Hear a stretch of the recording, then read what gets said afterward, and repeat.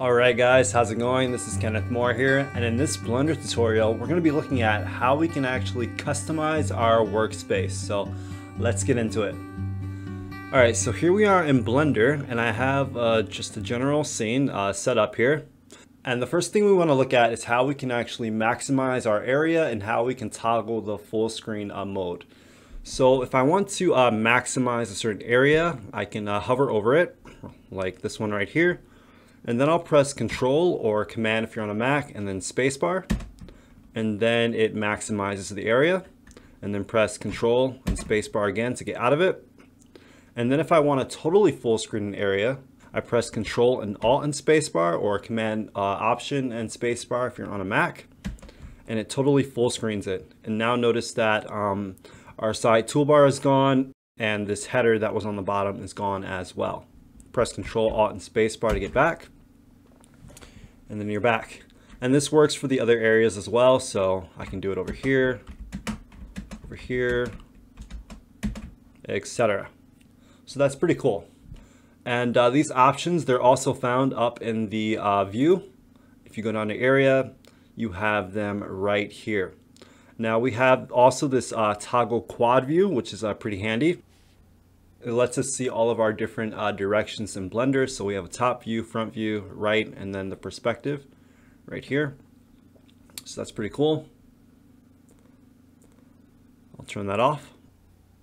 We also have this close area option, which you can do in some uh, panels or areas. So if I was to select this, it would close out the 3D viewport. All right, I'll go back and I'll switch this to 3D viewport like this. All right, now we can also uh, pop out the different windows if we want. So uh, if I was to simply go up to the corner right here and I press shift and then left click and then drag, notice that it pops out the window that I've selected like this. Or if I wanted to pop out this one, so shift, left click and drag, it pops up the uh, 3D viewport. And this is really handy if say uh, you have two monitors and you want a certain um, area on a certain monitor. So uh, you can use that. Go ahead and close this down.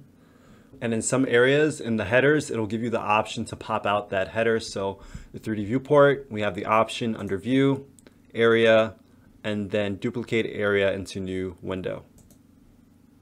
So we have it right here.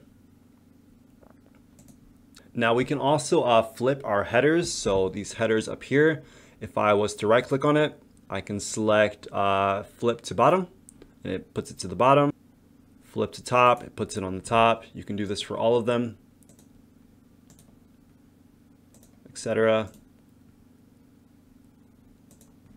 So that's another tool that you have. And then we can also uh, zoom in and out on our uh, areas as well. So so if I'm on a certain panel and then I press uh, control or command if you're on a Mac and then hold my middle mouse button and then drag, I'm able to zoom in and out. And this works also in your timeline right here and in your properties panel. It doesn't work in the outliner panel though. So uh, some panels it may not work in. So that's just the um, way that you can make things bigger or smaller if you like uh, it a certain size. Now you can also change the resolution of your entire uh, layout if you go up to edit, preferences, and then you can change the resolution scale. And that literally just maximizes everything right there. I'll set that back to one though. All right, now let's look at how we can add some more areas. So to do this, it's pretty uh, simple. You simply just go up to the corner right here and then you click and drag out and it brings a new uh, area. And this works on all the corners. So, so if I go over here, I can click and drag and drag out another one. And you can just change how wide they are by clicking on the borders like this. And if you drag left to right, it's going to create a vertical border. But if you drag up and down, it's going to create horizontal border. And now if we want, we can change these areas into what we want them to be. So let's say I wanted this one to be the image editor and this one here to be a video sequencer. I could do that. All right.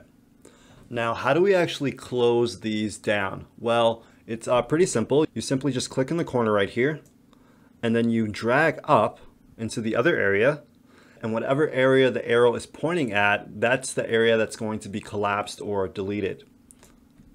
So it deletes that one, and then if I do this and I drag to this area, it's going to remove the one on the left, like that. And I'll get rid of this one as well. And I'll switch this guy back to 3D viewport. And you can split these down here as well if you want. And you can collapse them as well. All right. And also too as well, some areas will allow you to split it uh, from the view menu. So go up to view, area, and then split, horizontal, and I can split it right here. Now there's also another way that we can split and collapse our areas. So if I go to a border of a certain area, I'll choose this one right here, and I right click, I can select vertical split, and now notice that it splits it.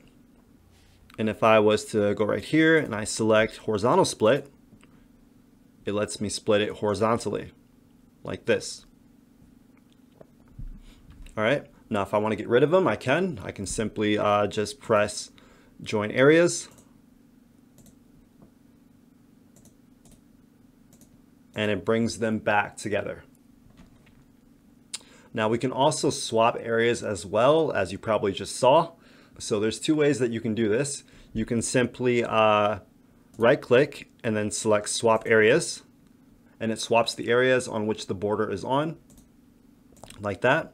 But another way that I find a lot uh, better and more convenient is to simply uh, go to the corner right here and then hold down control and then click and drag to the area that you want to swap it with. So like this or like this.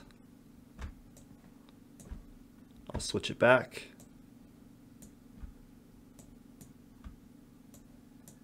Like that.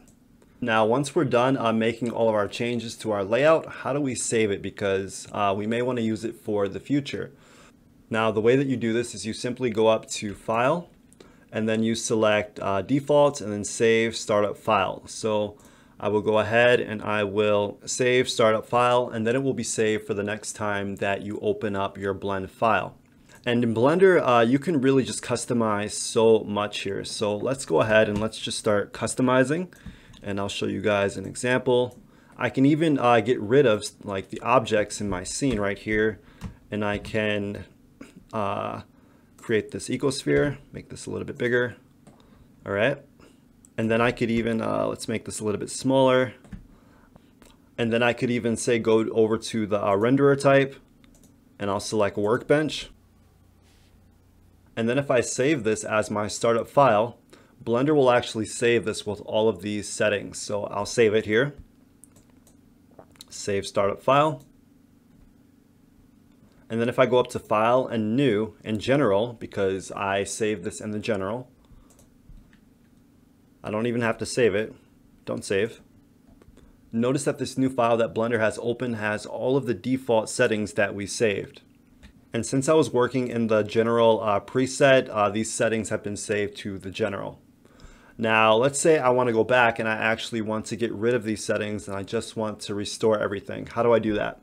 Well, you simply go down to defaults right here, and then you say load factory settings, press OK, click on this, and it brings you back to what you had originally. But if you want to save this as your general or default again, you have to uh, go up to File, Defaults, and then save Startup File. And then the next time you open up Blender under the General, then it will have these original settings to it. So that's just a little bit about how we can customize our layout in Blender. We hope that you learned something in this video and that you'll be able to work with Blender more effectively because of this. Now, if you like this video and you want to learn more, be sure to subscribe below and to click on the bell and we will see you guys in the next one. Until next time.